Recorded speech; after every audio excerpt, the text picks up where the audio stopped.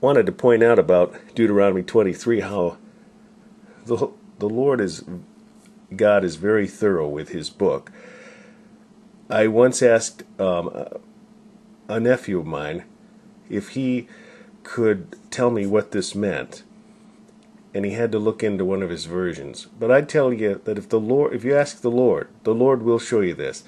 And I don't mean to make light of this, not at all. But okay, I just want to say that right off the bat. But listen to this in Deuteronomy twenty three twelve: Thou shalt have a place also without the camp, whither thou shalt go forth abroad. Okay, you know what that's talking about? Now let's read on. And thou shalt have a paddle upon thy weapon, and it shall be, when thou wilt ease thyself abroad, thou shalt dig therewith, and shalt turn back and cover that which cometh from thee. For the Lord thy God walketh in the midst of thy camp to deliver thee, and to give up thine enemies before thee. Therefore shall thy camp be holy, that he see no unclean thing in thee, and turn away from thee. Okay, do you know what it means now? Shall have a a paddle upon thy weapon, and it shall be when thou wilt ease thyself abroad, thou shalt dig therewith, and shalt turn back and cover that which cometh from thee. It's like a cat in a litter box.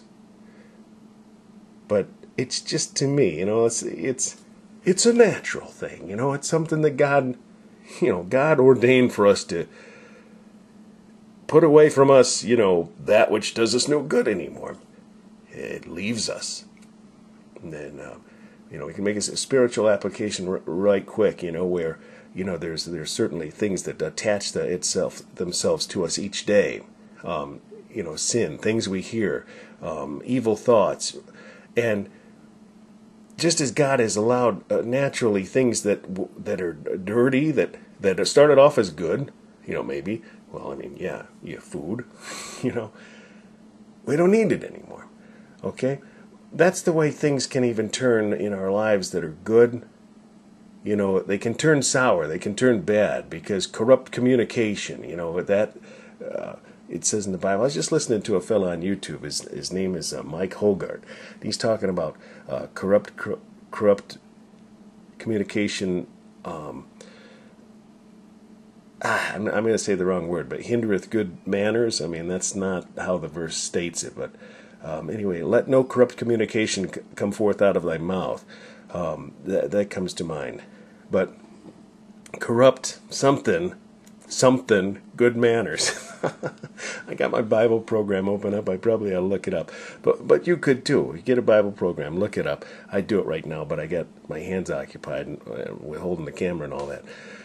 But the point is, here's what cleanses us from all sin God's word. Thy word have I hidden mine heart that I might not sin against thee. We need to each day yield ourselves to the hearing of God's word so that God can use his word to cleanse us, to make us new. From you know, out of my flesh proceedeth no good thing, you know, but the God's Spirit and His Word will cleanse us. Sanctify them through thy truth, Jesus prayed to God. Thy word is truth. I know that's John 17 17. And God can sanctify us, cleanse us, set us apart. There's another thought that I have about Deuteronomy 13, and I'll, I'll make that next.